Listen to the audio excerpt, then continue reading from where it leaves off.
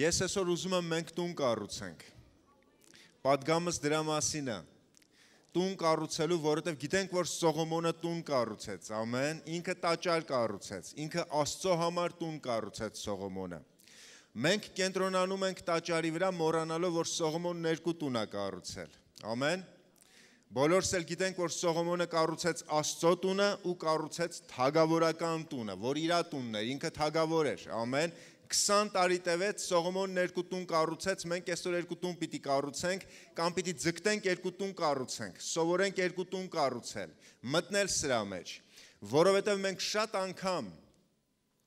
Մենակ տաճարի տունն ենք կառուցում մեր ներսի տունը թողելով, թագավորական տունը թողելով, շատերս անցնում ենք ծառայության, ծառայության մեջ ամեն ինչ լավ է, մեր ներսի տունը քանդած է մնում։ Շատերս էլ հակառակը, կենտրոնացել ենք մենակ թագավորական տան վրա, մեր ներսի տան վրա ու չենք էլ զբաղվում Աստծո տաճարով, որ Աստված կանչել է մեզ, որ զբաղվենք դրանով։ Սողոմոնն երկու տուն կառուցեց, ես ու դու էլ պիտի երկու տուն կառուցենք։ Ես ուզում եմ կարդամ երկրորդ մնացորդած, երկրորդ գլուխ առաջին երկու խոսքեր։ Եվ Սողոմոնը հրամայեց, շատ սիրունա, որ սկզբից ասմա Սողոմոնը ասեց առաջի գլխում, երկրորդում ասմա հրամայեց։ Աճողականա, թագավորական տուն կառուցել է քո իշխանությունը, քո դիրքը ինչ որ կա, որին դու հասնում ես, ինքը աճողականա։ Դու սկզբից ասում ես, դու զրուցում ես, խորհուրդ ես անում, բայց գալիս է հրամայելու ժամանակ։ ժամանակ Եվ Սողոմոնը հրամայեց, որ Տիրոջ անվան մի տուն շինեն, եւ մի տուն իր թագավորության համար։ Եվ Սողոմոնը 70000 բեռնակիր եւ 80000 քար կրող մարդ հաշվեց սարում։ Մարդիկ, որոնք սարից քար էին կտրում տաճարը սարքելու համար։ 3600 վերակացու դնելով նրանց վրա։ Սողոմոնը որոշում կայացրեց Աստծո համար, իր համար տուն կառուցելու ամեն, ինչից սկսեց Սողոմոնը։ Ես ու դու էլ դրանից պիտի սկսենք, որովհետև Սողոմոնը ճիշտ բանից սկսեց, Սողոմոնը գնաց զոհասեղանի մոտ։ Սուրբ Գիրքը գրում է Սողոմոնը գնաց զոհասեղանի մոտ ու 1000 զոհ արեց։ 1000 ոչխար զոհաբերեց Աստծուն ու սկսեց աղոտ քանել, որտեվ դուք գիտեք, որ Սուրբ Գիրքն ասում է Աստված երևաց նրան։ Առաջի գլխի 7-րդ խոսքում ասում է այդ գիշեր Աստված երևաց Սողոմոնին եւ նրան ասեց մի բան խնդրիր ինձանից։ Ինչ եք մտածում Սողոմոնը խնդրեց դա։ Եթե շատ ուրشادիր նայենք կտեսնենք, որ Սողոմոնը չխնդրեց Աստծուց էտի։ Սողոմոնը ոչ թե Աստծուց խնդրեց, այլ ասեց Աստված դու արդեն տվել ես դա։ Այն գիշեր Աստված երևաց Սողոմոնին եւ նրան ասեց. «Խնդրիր, թե քեզ ինչ տամ»։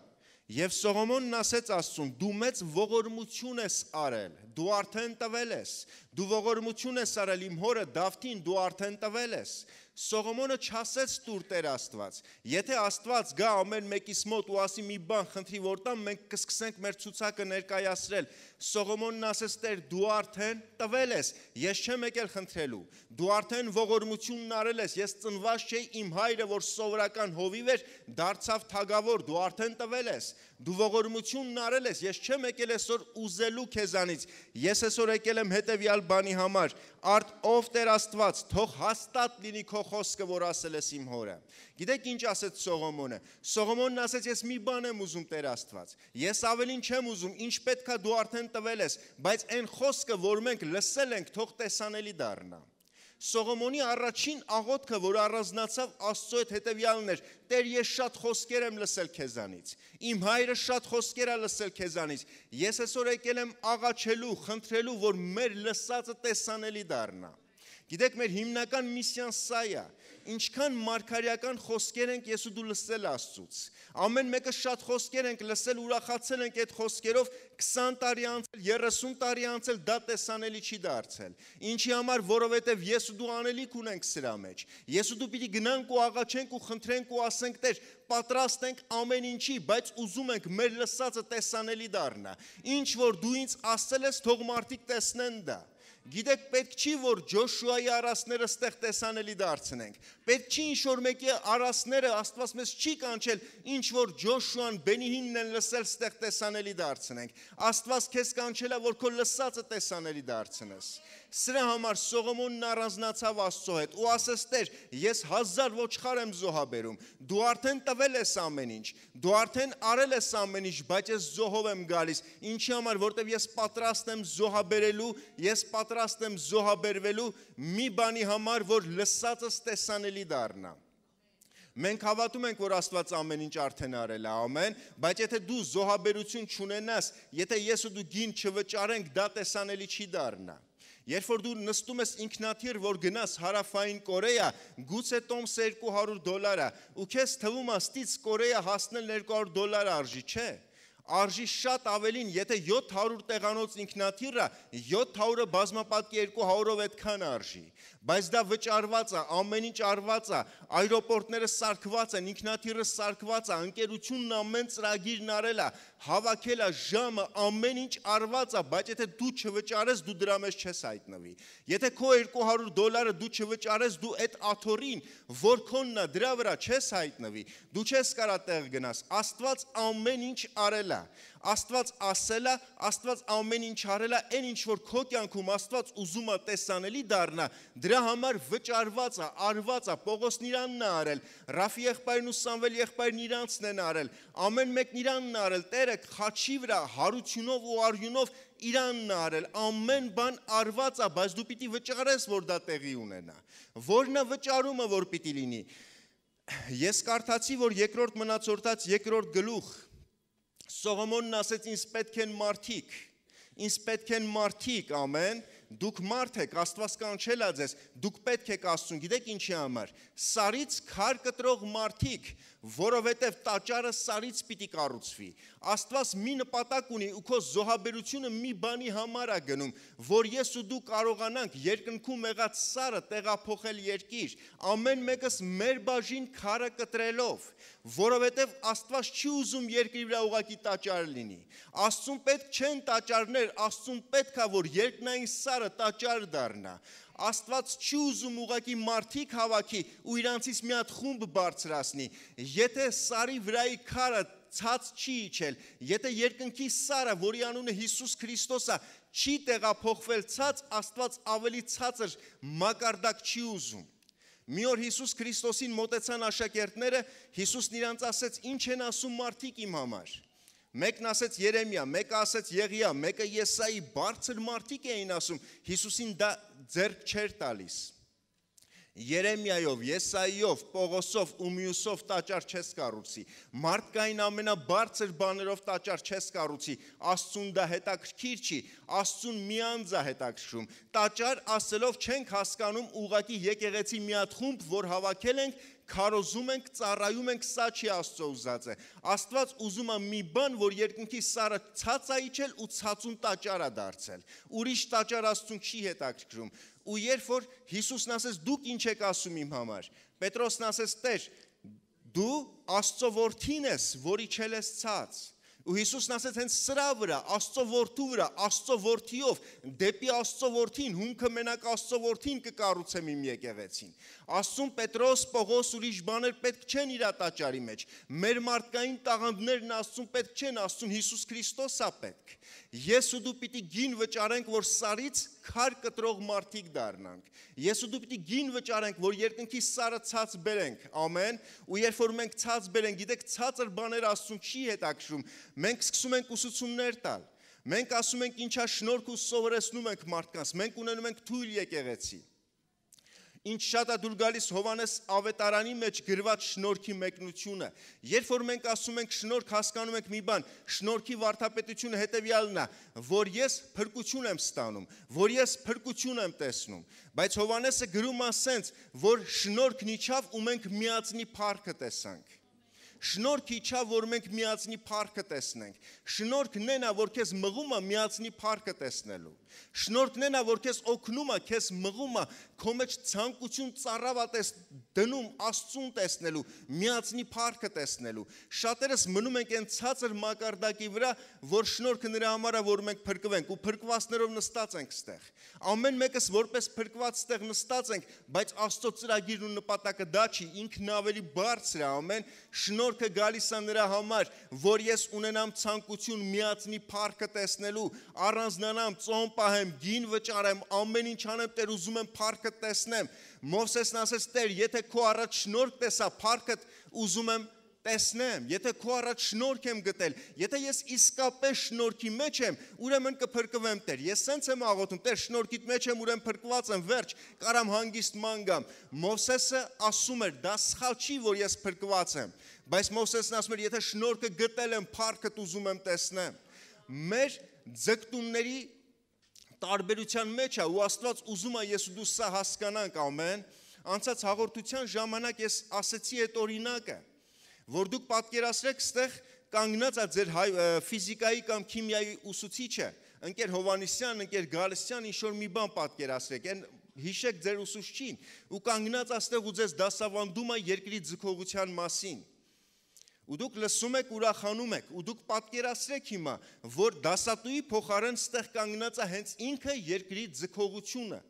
Երկրի ձգողությունն է ստեղ կանգնած ու քեզ դասավանդում։ Դու ոնց կզգաս իրան, դու ոնց կվայելես իրան, դու իսկապես կզգաս, որ ինքը ձգողություն է։ Ամեն։ Ծիածանի մասին շատերը կարան քեզ խոսան, բայց պատկերացրա ստեղ կանգնած է ծիածանը այդ գունավոր իր ամեն ինչով ու դու հիացած ես իրանով ու ծիածանից ձայն է գալիս դեպի քեզ։ Մենք բոլորս ճշմարտության մասին դաս ենք տալիս, բայց Աստված ուզում է, որ դու ճշմարտությանը տեսնես որ ճշմարտությունից սովորես, որ ճշմարտությունը քո մեջ ապրի, որ դու այդ ճշմարտությանը տեսնես ու ճշմարտությունից լսես, որովհետև եթե ես ձեզ ճշմարտության մասին սովորեցնեմ, դուք կձգտեք սուտ չխոսակ, բայց երբ որ ճշմարտությունը տեսնեք ու սովորեք, դուք կզգաք, որ սուտը չկա էլ, սուտը գոյություն չունի, ինքը զրո է ամեն բան սկսում է նրանից, որ ես ու դու պիտի հասկանանք, որ ոչ թե ուղակի մենք պաշտամունքի եկողներ ենք, ոչ թե ուղակի մի քիչ պիտի սուրբ գիրք կարդանք, մենք մարդիկ ենք, որ Հիսուսին պիտի տեսնենք, մենք պիտի հանդիպենք իրան ու Հիսուսին բերենք սա մեր միսիան է։ Ես ուրիշ միսիա չունեմ, դու ուրիշ ուրիշ միսիա չունես որպես հոգևոր։ Քո ու իմ միսիան այնա, որ մենք երկինք պիտի հասնենք, երկնքից քար պիտի կտրենք, Հիսուս Քրիստոս անունով ու դա տաճարը բերենք, ու սրանից պիտի տաճարը կառուցվի։ Եթե այդ նյութը, հումքը, որ Հիսուս Քրիստոսը կենթանի Աստվածը ցած չիչավ, քո արածը զրո է։ Դու կարաս շատ բան անես, ես ու դու կարանք շատ ծառայություններ անենք, բայց դա զրո է, եթե մենք չենք կարողանում իջեցնենք դա։ Ինչից է սկսվում այդ մղումը, որ ես ու դու ուզում ենք երկնքից այդ քարը բերենք, սկսում է հարցից։ Երբ որ Հիսուսը Պետրոսին հարցրեց, նոր Պետրոսի մեջ առաջացավ դա ու ինքը Աստծո որդի քարը հորից առավ ու ցած բերեց։ Աստված մեր մեջ հարցեր է դնում։ Մենք գալիս ենք ամեն մեկիս կյանքում գալիս է մի պահ, մենք զգում ենք հարցականներ բարձրացան մեր մեջ։ Իմ ու քո մեջ հարցեր ու հարցականներ են բարձրանում։ Ստից է Աստված սկսում, հենց այս տեղից է Աստված սկսում ու ամբողջ խնդիրը սրանում է, թե ում հարցն է քո մեջ այս րոպեին էփվում։ Դուք ստեղ ամեն մեկը նստած եք, ես տեսնում եմ ձեզ, դուք տեսնում եք ինձ։ Ամեն մեկիս մեջ հարց կա։ Ամեն մեկիս մեջ հարցականներ կան։ Աստված թույլ է տալիս, որ սրանք լինեն մեր մեջ։ Սատանան կարա իմ ու քո մեջ հարց դնի։ Դևն էլ է հարցով սկսում, Աստված էլ է հարցով սկսում։ Երկուսն էլ հարցով են սկսում։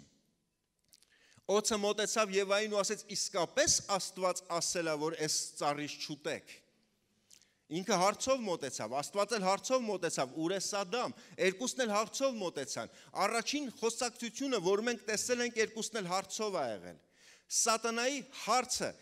մարդուն դարձրեց երևացող դիակ։ Աստծո հարցը դարձրեց չերևացող ամրություն որովհետև հենց որ սատանան խոսած Ադամի ու Եվայի հետ, իրանք տեսան իրանց մերկությունը, իրանք երևացող դարձան։ Իրանք դարձան երևացող, բայց դիակ դարձան։ Երբ որ սատանան խոսում է քո հետ, դու երևացող ես դառնում, դու հայտնի ես դառնում։ Սատանան խոսում է քո հետ, դու այդ հարցականը վերցնում ես, դու տրորում ես քո մեջ այդ հարցականը, դու ապրում ես դրանով, դու կերակրվում ես այդ հարցականով ու դու երևացող ես դառնում, բայց դիակ ես դառնում, որտեվ մեռան դրանից հետո։ Երբ որ Աստված խոսած, Աստված իրանց ծածկեց գառով, իրանք չերևացող դարձան, բայց իրանք ամրություն դարձան, որ գառի շորներևա, կրեն այդ գառի մորթին իրանց վրա։ Երբ որ սատանան է խոսում քո հետ, դու երևացող դիակ ես դառնում։ Երբ որ Աստվածը այդ հարցականը դնում քո մեջ ու դու դրան ես հետևում, դու չերևացող ամրություն ես դառնում։ Որն ենք այսօր ավելի շատ ես ու դու պատրաստ ընտրելու։ Մենք կարանք երևացող դառնանք, փայլենք ինչ որտեղ, բայց վերջը սրա դիակն է։ Ու մենք կարանք հակառակը լինենք, չերևացող լինենք, բայց ամրություն լինենք ու Աստված հենվի մեր վրա։ Աստված հենվի իր գործն ու ծրագիրը դնի մեր վրա։ Շատ անգամ ցավոք սրտի մենք թույլ ենք տալիս, որ սատանան մեզ դիակի վերածի ամենամեծ վիրավորանքը Աստծուն հետևյալն է, որ Աստծո պատկերով ստեղծված մարդը իր որդին, որի մեջ Աստծո հոգին է ու վերեսին ծնված է, դառնում է դիակ սատանայի ձեռքում։ Մեկի ձեռքում, որի անունն Աստված դրել է Բելիար։ Գիտեք, սատանան ինքը անուններ չեր ունենա, եթե Աստված իրան անուններ չտար։ Իր անունները բնորոշում են իրան, ու Աստված սատանային ասում է Բելիար։ Բելիար գիտեք ինչ է նշանակում։ Ոչինչ, 0, ոչ մի բան Բելյար նշանակում է ոչ մի բան։ Ոչ մի բանը գալիս է, զրոն գալիս է ինձ Աստծո որդուն, Սուրբ Հոգով լցված անznավորությանը, վերեսին ծնված մարդուն, Աստծո պատկերով ստեղծված մարդուն զրոն գալիս սկսում է իշխել։ Ոնց կարամ ես զրոյից ավելի ցածր լինեմ։ Ոնց կարամ ես Աստծո հոգով, Աստծո զորությունով, Աստծո պատկերով ստեղծված մեկը ավելի ցածր լինեմ, քան զրոնը, ինչքան ահավոր է էսի։ Բայց մենք շատ անգամ թույլ ենք տալիս, որ սենց լինի։ Ինչի համար, որտեվ խափնվում ենք։ Աստված ուզում է ես ու դու հիշենք, զրոն մեր կյանքում ոչ մի բան չի կարա ավելացնի։ Զրոն գումարես ոչ մի բան չի ավելանում։ Զրոն չի կարա քո կյանքում մի բան ավելացնի, չի էլ կարա պակասեցնի։ Ինքը չի կարա քեզնից ցավեր տանի։ Ինքը չի կարա քեզնից մի բան վերցնի, որը վատ է։ Ինքը չի կարա պակասեցնի։ Դու զրոյով եթե ուզում ես ավելանաս ու զրոյով ուզում ես պակասես, ոչ մի բան չի փոխվի քո կյանքում։ Բայց երբ որ զրոյով ուզենաս բազմապատկվես, ինքդ զրո կդառնաս, զրոյով բաժանվես, ինքդ էլի զրո կդառնաս ու շատ անգամ մենք ուզում ենք զրոյով բազմապատկվենք, մարդկության մեծ մասը կազինոներ է գնում եւ այլն մտածում է իր գումարները սրանով կբազմապատկի։ Ագահությունն ընդունում է ու մտածում է, գործն անի, այսօր եթե ինքը ծառայության չգնա ու սրա փոխարեն էս ինչն անի, եթե Աստծո գործը թողի ինքը զբաղվի էս ինչով, ինքը մտածում է դրանով կբազմապատկի, չի իմանում որ մի ամիս հետո ինքը զրո է դառնալու։ Ոչ, եթե սկզբից իր գրպանի գումարն էր զրո, հիմա ինքն է զրո արդեն ու շատ անգամ զրոն գալիս ու ասում է բաժանվի ես, հովիտ էլ մի լսի, բաժանվի իրանից։ Ինը քո համար չի, բաժանվի իրանից։ Այս սրբությունն ու ավետարանը քո համար չի, բաժանվի ու մարդը չի զգում, որ էլ ինքը զրոյ է դառնում։ Ինչի համար ես թույլ տամ Բելիարը իմ կյանքում բազմապատկում բաժանում բերի, եթե ես կարամ թույլ տամ, որ երրորդությունը 7 անգամ 70-ը թե գումարում, թե ավելացում, թե բազմապատկում ու թե հոգսերից բաժանում բերի իմ կյանքի մեջ։ Ես օշնված կլինեմ ու շատ զորավոր կլինեմ։ Ամեն։ Երբ որ Պետրոսը որոշեց լսի ու գնա իր ագահության հետևից ինչ որտեղ իր ապրոստի ու մարդկայինի, որտեղ Հիսուսը Պետրոսին կանչել էր, ասեց Սիմոն, արի ես քեզ կեփաս կդարձնեմ։ Քեզ Պետրոս կդարձնեմ ինքը չգնաց։ 4 ամիս հետո Հիսուսը տեսնում է իրան ծովի ափին, որտեղ ինքը լսել էր սատանայի հարցականը, բա ոնց ես ապրելու։ Եթե գնաս ինչ ձև ես դու ապրելու, գնացել էր ուրկանը գցել էր ջուրը, ու քանի որ հույսը զրոյի վրա էր, զրո էլ բռնեց Քանի որ ինքը զրո բռնեց, ինքը ոչ միայն ուրկանը դատարկվեց, ինքը դատարկվեց, որտեղ 6 րոպեին ինքը իր նավի մեջ նստած էր որպես հուսահատ, կոտրված, ջարդված մարդ, ինքը իր նկատմամբ հարգանքը արժեքը կորցրել էր, որտեղ ոնց եմ տունը սպահելու։ Ես անհաջողակ եմ, իմ մոտ չի ստացվի, ես որպես տան տղամարդ ոչ մի բան չեմ կարող անեմ։ Սատանան տարավ իրան իր ուրկանը դատարկեր։ Երբ որ Հիսուսն իր ուրկանը լցրեց, իր հպարտությունը չավելացավ, ինքը շատ ուներ ու խոնարհվեց էլ Հիսուսի առաջ ու ասեց ես մեղավոր մարդ եմ։ Աստված ուզում է իմ կյանքում ու քո կյանքում եղած ամեն բազմապատկում ոչ թե Բելիարով լինի, այլ Հիսուս Քրիստոսով լինի, ամեն։ Էսի որպես հիմք ես ուզեցի ասեի, որ մենք չենք կարա Աստծո տաճարը կառուցենք, ես ու դու չենք կարա Աստծո համար տուն սարքենք ու մեր տունը կառուցենք, եթե վերևից չենք բերել։ Իմ ու քո գործը սարը տեղափոխելն է երկրի վրա տաճարի տեսքով, ամեն։ Մեր լրիվ տաղանդները, մեր լրիվ կարողությունը պիտի գնա մի բանի, որ մենք սարի քարից տաճար սարքենք բայց մեր ամբողջ նվիրումը զոհաբերությունը պիտի գնա, որ սարը պիտի ցած իշնի։ Հիսուս Քրիստոսից մի բան ես այսօր էլ պիտի բերեմ ու տաճարի մեջ դնեմ։ Իմը չի անցնի, իմը զրո է, իմը Աստծուն օգտակար չի։ Ամեն։ Ես զրո եմ, որպես մարդ մենք խոտ ենք, ոչ մի բան չենք կարանենք, ոչ իմ խոսքը, ոչ իմ արարքը։ Մենակ մի անուն կա, ասում է վերևից տրված երկնքից, Աստծո կողմից, երկրի վրա, որով հնարավոր է մի բան անել, փրկվել, զորանալ, դա Հիսուս Քրիստոս անունն է, ամեն, ու Աստված ուզում է որ դա իշնի։ Սողոմոնն անցավ աշխատանքի։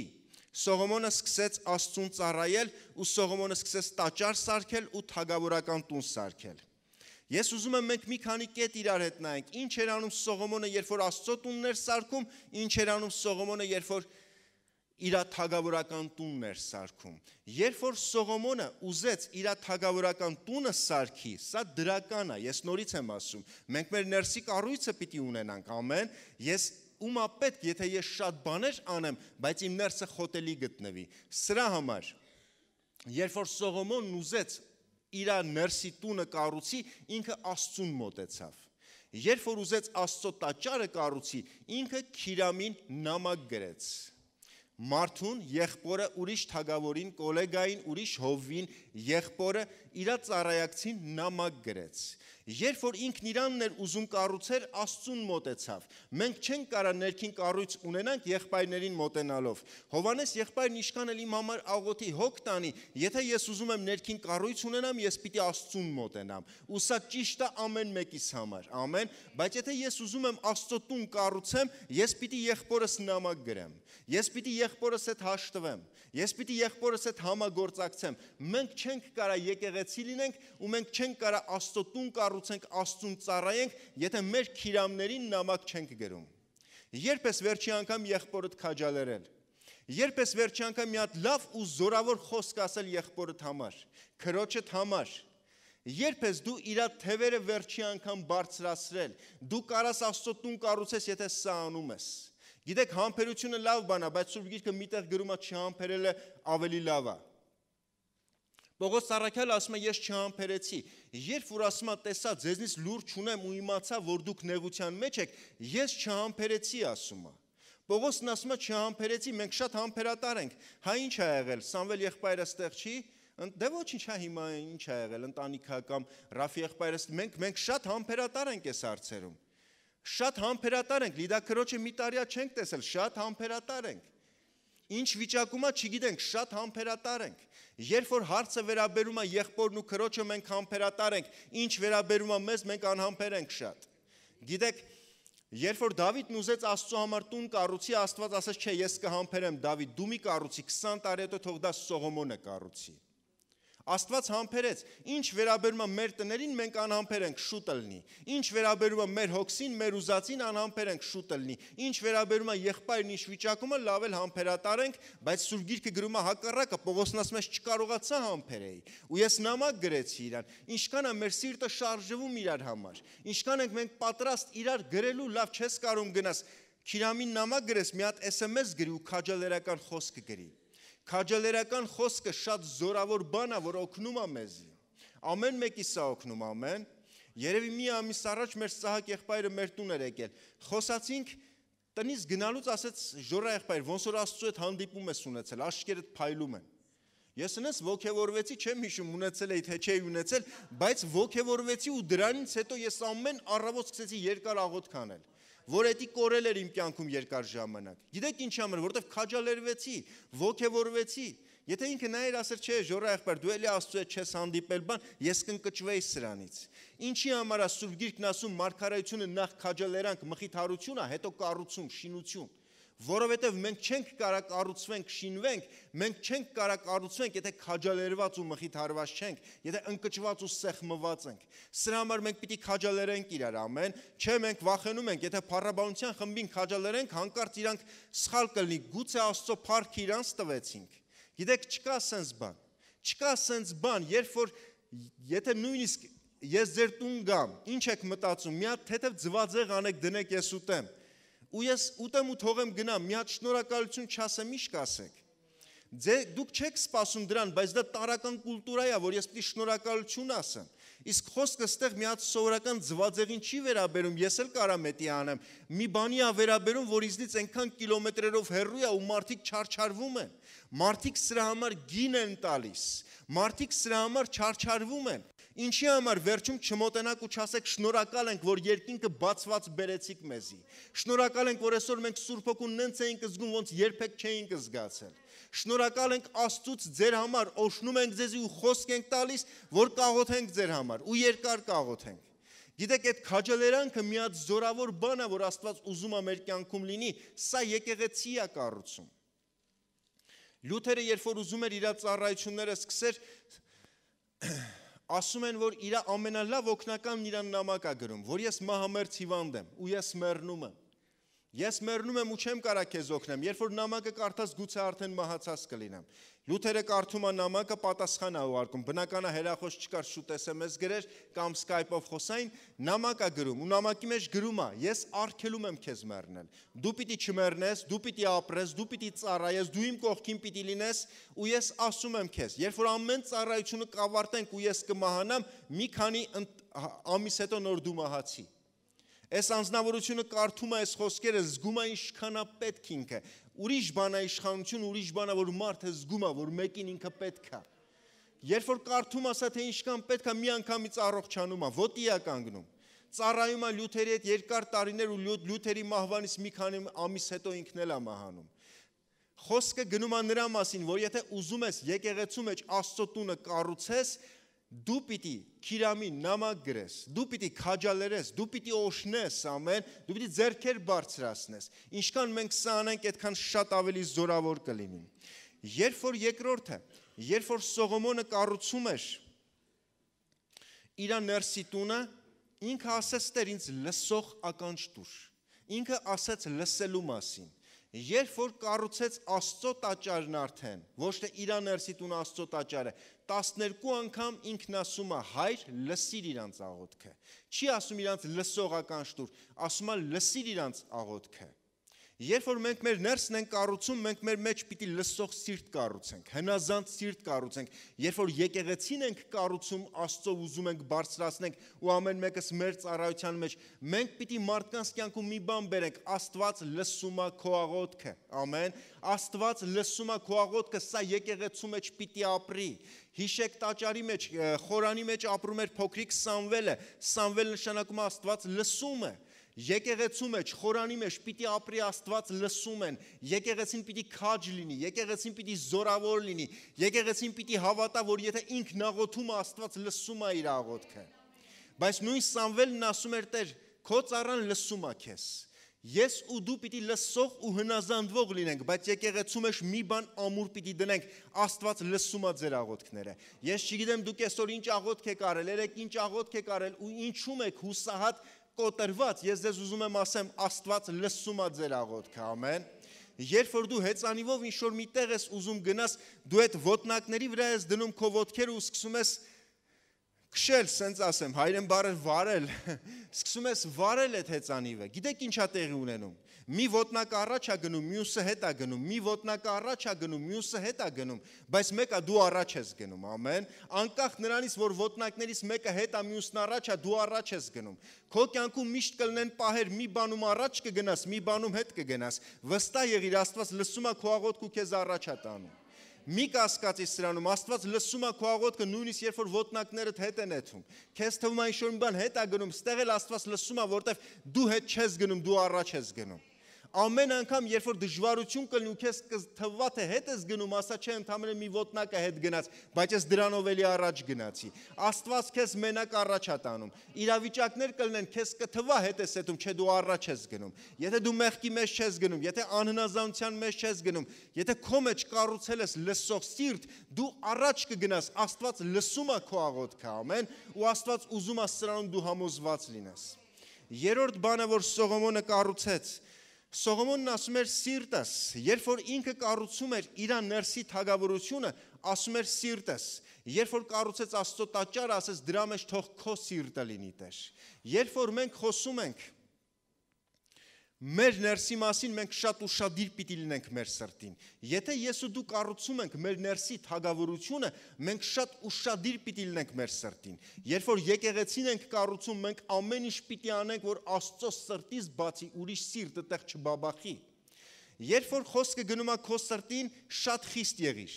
որովհետև Սողոմոնը խիստ էր։ Սողոմոնը սپانեց այն մարդկանց, ովքեր թագավորությանը վնաս կարային տային։ Ինքը սپانեց Հովաբին, Հովաբը քաղաքականությունն էր, երբ որ ներսումդ քաղաքականություն է ստենում, սպանի դա։ Ինչ որ բաներ, գիտեք ինչա քաղաքականությունը, նույն ճշմարտությունը, որից հոգին պատվաստված ու հանված է։ կտրված ու հանված է, հոգին չկա մեջը։ Հոգին չկա, դա սպանի քո մեջ, անշահախնդիր ձևով, խիստ եղիր քո հետ։ Ինքը սպանեց Սեմեին, Սեմեին մեծերին քարերով խփողն էր։ Եթե ներսումը տեսնում ես մի բան, որ մեծերին քարկոծում է, սպանի դա։ Շատ ան խիստ եղիր քո նկատմամբ։ Մի խնայի քեզ սپانի դա քո մեջ։ Ինքը սپانես նաև իր եղբորը, որ նշանակում էր ընտանեկան ամեն մի բան, որ ընտանեկան խմորում, որ իր միջից կարար գար իր ընտանիքի մեջ ինքը սپانում էր։ Ինքը շատ խիստ էր, անխնա էր իր նկատմամբ։ Բայց ինչ վերաբերում էր եկեղեցուն, 5 անգամ աղոթես Տեր ներում դիր սրա մեջ, ներում դիր սրա մեջ, ներում դիր սրա մեջ։ Երբ որ ես իմ ներսն եմ կառուցում, ես պիտի սپانեմ ամեն բան, անխնա լինեմ իմ նկատմամբ։ Երբ որ եկեղեցին եմ կառուցում, ներում պիտի դնեմ սրա մեջ։ Անպայման ներում պիտի ապրի։ Եկեղեցու մեջ ես պիտի ներողամիտ լինեմ։ Իմ նկատմամբ ես պիտի խիստ լինեմ, բայց ժողովրդի նկատմամբ ներողամիտ լինեմ։ Քո նկատմամբ խիստ եղիր, բայց դիմացինիդ նկատմամբ ներողամիտ եղիր, որտեղ Աստված սա է ուզում որ լինի, ամեն։ Աստծո սիրտը սա է, ու Աստված ուզում է որ մեր սիրտը այս ձև լինի, ու ինչքան ներող լինես, այդքան ուժեղ կլինես։ Գիտեք, սիրտ բարի առաջին ու վերջին տառերը որ հանես, ս ու տ տառերը հանես կդառնա իր ապրանք։ Սիրտ բարի, եթե առաջի ու վերջի տառերը հանես, դառնում է իր ապրանք։ Սն սերնա, տնտերնա, Սեր ու Տեր, եթե մեր սրտից դուրս է գալիս, եկեղեցու մեջ ես ու դու պիտի մենակ սեր ունենանք ու մենակ Տիրոջ հնազանդություն ունենանք։ Եթե ես իմ սիրտը աշխատում եմ իմ սրտի հետ ու Տիրոջը հնազանդվելով, կտրելով ամեն բան, որ Աստծուց չի, ու երբ որ եկեղեցու մեջ սեր եմ բերում, երբ որ սա կա, իմ սիրտը դառնում է կենթանի մի բան, Աստծուն հաճելի է ամեն, ու Աստված սա է ուզում որ մեր մեջ լինի։ Երորդը սա էր, որ ես ու դու մեր սրտի նկատմամբ շատ խիստ պիտի լինենք, բայց Աստծո տան մեջ ներողամիտ լինենք։ Ներողամտությունը հարվածում է հանցանքին, բայց հանցավորին փրկում է դրանից։ Ամեն։ Չորրորդը, որ ես ուզում եմ ասեմ, երբ որ Սողոմոնն իր սիրտն իր թագավորությունն էր կառուցում, Սողոմոնը կենտրոնացավ Աստծո մեծության վրա երբ որ եկեղեցին էր կառուցում Աստծո գործներ անում, կենտրոնացավ մեկության վրա։ Ընդհանրապես մի տառ փոխվում, բայց շատ բան է փոխվում՝ մեծություն ու մեկություն։ Երբ որ դու քո ներսն ես կառուցում, դու պիտի կենտրոնանաս Տիրոջ մեծության վրա, ու դու պիտի քո կյանքում դա բերես։ Այնքան հեշտ է մարդկանց ասել Աստված մեծ է, Աստված մեծ է, չէ, բայց երբ որ դու կենտրոնանում ես ու իսկապես ճանաչում ես այդ մեծությունը։ Իսկ եկեղեցու մեջ ես ու դու պիտի բերենք մեկություն Մենք շատ անգամ հակառակն ենք անում։ Երբ որ Աստված խոսում է ինքն իր մասին, ասում է լսիր ով Իսրայել, առաջի պատվիրանը քո Աստված մեկ է։ Չի ասում քո Աստված մեծ է կենտրոնանում է մեկության վրա, հետո մեծության վրա։ Մենք կենտրոնանում ենք մեր մեծության վրա ու կորցնում ենք այն մեկությունը, որ պիտի բերենք եկեղեցի։ Աստված ուզում է եկեղեցին կենտրոնանա մեկության վրա, մեկացած լինի, մեկ դառնա, ամեն, ու երբ որ եկեղեցին կենտրոնացավ մեկության վրա, մեծությունն էլ կգա ու Աստծո մեծությունը կսկսի գործել եկեղեցու վրա։ Մեր եկեղեցական ծառայողական մեծությունը մեր մեկության մեջ է։ Ինչքան ես ու դու պատրաստ ենք մեկ լինելու, ամեն։ Ինչի մեջ է հաղթանակը, Սուրբ Գիրքն ասում է, ոտքի դրաստեղը քեզի կտամ։ Չի ասում ձերքի դրաստեղը։ Չի ասում ինչին նայում ես քեզի կտամ։ Ասում է ոտքի դրաստեղը։ Ինչի համար, որտեվ եթե ձերքս դնում եմ, մարմինը չի տեղափոխվում, բայց երբ որ ոտքս եմ տանում, ամբողջ մարմինն է տեղափոխվում հաղթանակը մարմնի տեղափոխման մեջ է, ոչ թե անհատի, ոչ թե մատերի, ոչ թե հնգաթև ծառայության, ոչ թե մենակ առաքյալների, մարգարեների, այլ երբ որ ամբողջ մարմինը գործում է։ Ինչ հաղթանակի, որ եկեղեցին հասել է, հասել է ոչ թե անհատների, այլ ամբողջ եկեղեցու շնորհիվ, որովհետև մեկության մեջ է մեծությունն ու հաղթանակը։ Ու Հիսուսը երբ որ իր վերջի աղոթքն անում էր, չէր ասում՝ հայր խնդրում եմ մեծ արա իրանց, ասում էր հայր խնդրում եմ մեկ արա իրանց, ու 5 անգամ ասում եմ մեկացրա իրանց, աղաչում եմ մեկ արա իրանց, որտեվ կարևոր է սա ամեն, երբ որ մենք պատրաստենք ամեն բան, մեր մեծություն, մեր անհատ ծրագրեր ամեն ինչ թողենք ու եկեղեցու Աստծո ծրագրի մեջ մեկ լինենք։ Հինգերորդը, որ ես ուզում եմ ասեմ, կենտրոնացումը կենտրոնից դուրս դնելու մեջ է։ Սողոմոնը տաճարը կառուցեց Երուսաղեմից դուրս։ Գիտեք ինչի համար Երուսաղեմից դուրս կառուցեց, որովհետև կենտրոնը միշտ կենտրոն կմնա։ Եթե դու կենտրոնին թողես կենտրոնում, ինքը կենտրոն կմնա։ Եթե դու կենտրոնին հանես դնես ծայրամաս, ինքը կենտրոն կմնա։ Գիտեք ինչի համար, որովհետև Երուսաղեմը մեծացավ Հիմա այդ նույն տաճարի տեղը կենտրոնա դարել։ Ինչի համար։ Ինքը ամենակարևորն էր ու մարդիկ սկսեցին տներ կառուցել դրա կողը ու քաղաքը մեծացավ ու կրկնապատկվեց։ Ինչի մեջ է բազմապատկումը, ավելացումը, նրա մեջ է, որ կենտրոնը տեղում չես պահում, այլ դրսում ես դնում։ Նայեք գործ կառակելոցը միշտ հրաշքներ, զորություններ եղել է, երբ Հիսուս Քրիստոս կենտրոնուն, կենտրոնին ոչ թե եկեղեցու մեջ են պահել, այլ եկեղեցուց դուրս են դրել։ Երբ որ մենք Հիսուս Քրիստոսին դուրս տանենք, ավետարանը դուրս տանենք, Երևանի այն աշխարհիկ մարդկանց մեջ տանենք, էսա իմ ասած ավետարանության իմաստով, երբ որ մենք սա անենք, կենտրոնը ավելի զորավոր կլինի, եկեղեցին էլ կբազմապատկվի ու կավելանա, ամեն։ Մենք Մասիսում աղոթք ենք անում 3 օրվա ծոմ ունեցանք ու խոսքը, որ ես ստացա հետեւյալն էր, որ մի հատ ծանրություն կա, մի հատ մի բան կա, քարի նման, որ այդ ջրհորի բերանը փակել է ու ջուրը չի գնում։ Ու երբ որ աղոթում էի, Աստված շատ խոսքեր տվեց, բայց մեկը դրանցից որ կար հետևյալն էր, որ այդ քարը հենց ինքը եկեղեցին է, որտեվ մենք կենտրոնացել ենք ջրհորի մոտ, մենք ուզում ենք ինքներս մեր հոգսերի պատասխանները, մենք գալիս ենք Աստծո մոտ, Տեր, հոգամեզի, Տեր, մեր հարցերը դու օգնի, մենք մենակ մեր հոգսերով ենք կանգնած ու դրա համար մոտիկ լինելով փակել ենք։ Բայց եթե այս քարը մի քիչ հեռանա ու գնա դեպի հերրուն, դեպի մարտիկ, դեպի ժողովուրդը, ջուրն էլ կգնա այնտեղ, աղբյուրը դուրս կգա ու կգնա։ Ինչքան մենք կարան գնանք, այդքան աղբյուրը կգնա։ Եթե մենք ուզում ենք իսկապես փոփոխություն լինի ու կենտրոնը դառնա ոչ թե 30-ի այլ կենտրոնը 100-ի հասնի ու 200 դառնա մեր շարավիրն ու տրամագիծը, մենք պիտի դեպի աշխարհ Հիսուս Քրիստոսին տանենք, ամեն։ 6-րդը նախավերջինը Սողոմոնը երբ որ իր թագավորությունն էր կառուցում, Աստուն զոհ արեց, բայց երբ որ տաճարն էր կառուցում, Քիրամին վճարեց։ Երբեք եկեղեցու զոհը մի դարձի։ Ես ու դու կանչված ենք մենակ Աստծո զոհը դառնալու։ Աստված ինձ ու քեզ չի կանչել։ Մենք պիտի վճարենք, մենք պիտի անենք, այո, ինչ որ բաներ դու դնում ես, բայց դու Աստծո զոհն ես, դու եկեղեցու զոհը չես, ամեն։ Ու ինչքան որ ես ու դու ապրում ենք, ինչքան ծառայում ենք Տիրոջը, մեր կյանքից երկրպագությունը Աստծուն տված ժամանակը ու շատ sense բաներ պիտի դուրս չգան։ Ցավոք սրտի շատ անգամ մենք ծառայության պատճառով կորցնում ենք Աստծո հետ եղած հարաբերությունն ու նվիրումը։ Բայց դրա փոխարեն Աստված ուզում է որ թեկուս ծառայությունդ քիչ լինի, բայց Աստծո հետեղած հարաբերությունդ միշտ իրատեղում լինի ամեն։ Ու վերջինը մեր ավարտը, թե մենք ոնց ենք ավարտում ու ոնց ավարտեց Սողոմոնը։ Երբ որ Սողոմոնն Աստծո տաճարն էր կառուցում, ավարտեց աղոթքով ու երկրպագությամբ։ Երբ որ իր թագավորության կյանքն էր, ավարտեց կռապաշտությամբ ու անկումով։ Աստված ուզում է մեր ավարտին շատ զգուշ լինենք, շատ ուրախadir լինենք, ամեն։ Ու դա իսկապես շատ կարևոր է։ Դու կարաս շատ լավ սկսես, բայց շատ վատ ավարտ ունենաս։ Սրա համար Աստված ուզում է ես ու դու մեր ավարտը շատ ավելի լավ ու երկրպագության ու աղոթքի մեջ լինի։ Աստված ուզում է ես ու դու սրա մեջ լինենք ու սրանով առաջ գնանք։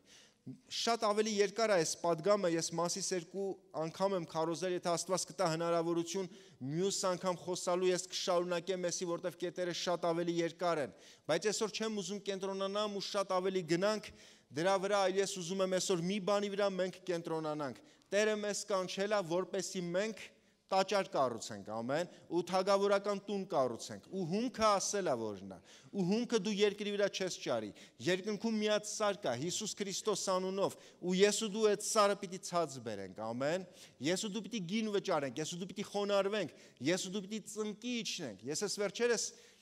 Հիշեցի ու ասում եմ Տեր, ոնց եմ կարոտել այն պահերին, որ ես ուղակի շորը գցում էի գետնին ու ծնկի վրա աղոթում էի։ Ինչ որ բաներ փոխվել է մեր կյանքում, մենք աղոթում ենք քայլելով, նստած, ամեն ձևով աղոթում ենք ու սա հրաշալի է, որտեվ սուրբ գրային են լրիվ, բայց պահեր կա, որ մեր կյանքում կորելա այն, ոչ թե որպես ձև, հիմա ես դնեմ, ես չեմ ուզում է ձև, բայց ես զգում եմ մեկ-մեկ ներսս ոնց է մղում ինձ ցած իշնելու Աստծո առաջ, որովհետև զգում եմ այն ինչ Աստված ուզում է, որ ես Իրանից խնդրեմ, շատ ավելին է ու շատ բարձր է ու շատ դժվար է դա վերցնելը, որովհետև հեշտությամբ Աստված իր որդի հետ սարը չի տալիս երկրի վրա։ Հիսուսն ասեց. «Երանի քեզ Պետրոս, որ հայրը հայտնես դա քեզ, որովհետև դա հեշտությամբ չի տրվում»։ Բայց դա ապրումներ է, հարցականներ է ճիշտ, որ դու ընտրում ես, ու դու գալիս ես Աստծո հարցերին ու հարցականներին քո սրտի մեջ։ Ու դու սկսում ես դրանցով շարժվել ու դա քո մեջ ծառավ ու փափագա առաջացնում։ Ու դու էլ չես կարող ուրիշ ձև ապրես, ու դու սկսում ես աղակել Տիրոջը։ Թեյլորն ասում էր՝ «Տեր փրկիր Չինաստանը, թե չէ կմեռնեմ ես»։ Լութերն ասում էր, Տեր, եթե կյանքս չփոխես, ավելի լավ է սպանի ինձ, ես չեմ ուզում սենց ապրեմ։ Սա աղաղակ էր, որ ներսից դուրս էր գալի։ Այս չէր նշանակում իրանք մի հատ գիրք ու բրոշուր էին կարդացել Բիվերի գրած, հրաշալի գրքեր են ու դրանից ելնելով այդ աղոթքը գրել էին իրանց տետրի մեջ, որ հիմա այս աղոթքն անեն ու ամեն առավոտին 5 րոպե այդ աղոթքն անում էին, չէ։ Էսի մի հատ ապրում էր իրանց մեջ ծնված որ քայլել էին, որ գնացել էին, իրանց մեջ մի հատ աղակ էր, իրանք վերջացել էին Իրանք երևացող դիակից վերածվել էին չերևացող ամրության ու այդ աղաղն Աստված վերցրեց Չինաստանում այսօր 150 միլիոն փրկված կա։ Լութերի միջոցով ամբողջ աշխարհը, հոգևոր աշխարհը շուռ եկավ։ Դասագրքերում Լութերի մասին դասավանդում են։ Ինչի համար, որտեվ մարդու ներսում հարցականը ճիշտ ընտրություն եղավ։ Ինքը չընտրեց ագահությունը, չընտրեց գործ, աշխատանք, երկրային կյանք, ինքը ընտրեց Աստծո հարցերն ու հարցականները։ Ինքը Բելիարից բարձր եղավ, ոչ թե ցածր եղավ։ Ինքը Հիսուսին հետևեց, ոչ թե Հուդայի նման ամբողի առաջից գնաց։ Սուրբ Գիրքն ասում է Պետրոսը հետևեց Հիսուսին, Հովանեսը հետևեց Հիսուսին, Հուդան ամբողի առաջից գնաց։ Ամբողը տեսնում էր Հուդային ինչ հրաշալի անznավորություն է Հուդան, այս ինչ երևացող մարդ է, երևացող դիակ էր։ 3 օր հետո ինքնասպանությամբ մահացավ։ Իսկ Պետրոսն ու Հովանեսն ապրեցին երկար ու մինչև այսօր իրանց մասին խոսվում է ու եկեղեցներ են կառուցվում իրանց գրած խոսքերի ու իրանց թողած ժառանգությունից հետո։ Սրա համար Աստված այսօր ուզում է, որ ես ու դու ոտքի կանգնենք, ամեն, թե հոգևորապես, թե հիմա ֆիզիկապես նաև ոտքի կանգնենք։ Ինչ աղաղակ կա քո մեջ այս րոպեին կարևորը սա է։ Ինչ աղաղակ կա այս րոպեին քո ներսում։ Մի հատ քո սրտի մեջ նայի, որովհետև դու կանչված ես քո ու թագավորական տունը կառուցելու։ Աստծո տունը ու քո թագավորական տունը կառուցելու։ Ինչ աղաղակ կա քո ներսում։ Եթե դեռ հոգսերն են, եթե դեռ խնդիրներն են, առօրյանը դու խղճուկ ես։ Կներեք, որ սենց եմ ասում։ Դու այսօր չես աղաղակել հանապազորիա հացի համար։ Ես չեմ հավատում առավոտ շուտ արտնանան Աստծո զավակներն ու աղակեն հանապազորիա հացի համար ու իրանք այսօր փշրանքների համար ուղակի կանգնած լինեն այստեղ։ Խոսքս նյութականին չի վերաբերում, դուք իշ ճիշտ եք հասկանում։ Գիտեք, Աստված գործում է ժառանգությամբ, ոչ թե երկրային ունեցվածքով ու չափանիշով։ Հավատացեք, ես Աստծուց տուն չեմ ուզում։ Ես տուն չունեմ, բայց իմ ներսը ես նայում եմ, ես Աստծուց տուն չեմ ուզում։ Ես Աստծուց ժառանգություն փոխանցելու հնարավորություն եմ ուզում։ Ես ոչ թե ուզում եմ երկրի վրա տներ լինեն, լավա որ լինեն, խոսքը սրան չի վերաբերում, բայց իմ ներսի ցանկությունը դա չի։ Ես ուզում եմ իմ զավակներին, ունդեղ որտեղ Աստված դրել է, որ ծառայում եմ, ժառանգություն փոխանցելու հնարավորություն ունենա։ Աբրահամը պանդուխտ էր վրանների մեջ ապրող, օշնում էր իր զավակներին, Իսահակը օշնված էր։ Հակոբը օշնված էր, Հովսեփը օշնված էր, որտեղ իրանք ժառանգություն ունեին հորից, իշխանություն ունեին ժառանգություն փոխանցելու։ Ու Աստված ուզում է սա լինի, իրանք ջրհորներ էին տալիս իրանք տներ, սիրուն սարկած տներ չէին տալիս, բայց ջրհորներ էին տալիս։ Լավագույնը, որ դու կարաս հիմա ունենաս, եթե հանապազորիա հացը առավոտվա խնդրել ես, դա հավատքի ջրհորն է, որ քո ներսում է, ու որ դու կփոխանցես նրանց, ովքեր քեզ լսում են կամ քո սերունդներին։ Դա սիրո օշնության ու աստվածային շնորհքի ջրհորներն են, աղոթքի ջրհորը։ Մինչև այսօր, գիտեք, պապիս հավատացյալ ա եղել ու մինչև այսօր մեր սերունդն ասում ա որ իր շնորհիվա որ մենք դարձի ենք եկել։ Երկար ժամանակ ասում են ծոմերից հետո ինքը երաս տեսավ ու երազի մեջ մի ձայն կկարդաս Եսայ 58:12-ը։ Քեզնից ծնվածները հին ավերակները կկառուցեն։ Գիտեք իմ պապինից ոչ մի բան չի թողել։ Ոչ տունա թողել։ Մի հատիկ սուր գիրք Իրանից փոխանցվելա ինձ ու էսի մեծ ժառանգությունա ու այդ խոսքը որպես երեխա մենք կռիվ էինք անում երեխեքով ով ալնելու մեզնից հին ավերակները կառուցողը խոսք որպես ժառանգություն որ եկել է իմ կյանք նրանց կյանք ովքեր իր սերունդն են ու էսի շատ ավելին է որպես ջրհոր ամեն որտեվ սրա մեջ շատ ավելին կա ինքը սա է փոխանցել մեզ Սրա մեջ ամեն ինչ կա, սրա մեջ տներն էլ կան, ամեն ինչը կա։ Սրա մեջ միլիոններ կա, սրա մեջ միլիարդներ կա։ Սրա մեջ կա հավիտենական կյանք, սրա մեջ կա սեր, որտեղ դա Աստծո ջրհորն է։ Էդի Աստծո ջրհորն է, որ բխում է հավիտենական կյանքի համար։ Ինչ ես այսօր թողելու քո սերունդին։ 15 հատուն, 7 հատ մեքենայի բանալի, սրանք լավ բաներ են, ճիշտ հասկացեք, ես դեմ չեմ սենց բաներին, բայց ինչի վրա է կենտրոնացած իմ ներսս, ինչ հարցականների վրա է մտածում ու գործում իմ սիրտը, ու ինչով եմ ես տարված, ինչի վրա եմ կենտրոնացած։ Ես այսօր ուզում եմ դու աղաղակես Աստծո ջրհորների համար։ Ես այսօր ուզում եմ քո ներսն աղակի նրա համար, որ քո հավատքի ձեռքը երկինք հասնի, ու քո ձեռքի մեջ Աստծո զորության մուրճը լինի ու դու երկնքից կտրես այն քարի կտորը, որ քո համար պահված է երկնքում, այն խիճը, որ ասում է պահված է երկնքում, մանանայի հետ միասին, որ կստանա մենակ նա, ով ասում է ինչ որ մի բան գիտի, հիմա չեմ հիշում այդ հատվածը, բայց ինչ որ մի բան երկնքում քո համար պահված է մի քարի կտոր, որ երկրի վրա տաճար պիտի դառնա։ Ու դա մենակ դու կարաս անես, եթե գինը վճարես։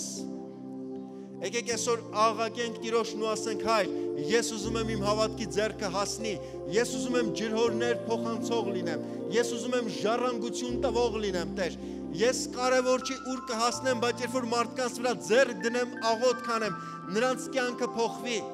նրանց վախերը քաջության դառնան, նրանց թերահավատության մեջ հավատքը գա, նրանց կոտրվածության մեջ հույս գա, կոտրված սրտի փոխարեն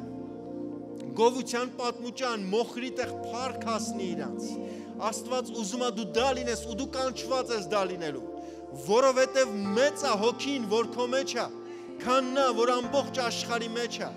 Ուրեմն այսօր աղակիր, որտեղ մենք սխալ տեղից ենք մտել։ Մենք սխալ կողմից ենք նայում, սրա համար մեր կյանքում շատ անգամ չի լինում փոփոխություն։ Եկեք այսօր երկնքի սարը տաճար դարձնենք։ Եկեք այսօր ոչ թե ունեցված, այլ ժառանգություն փնտրենք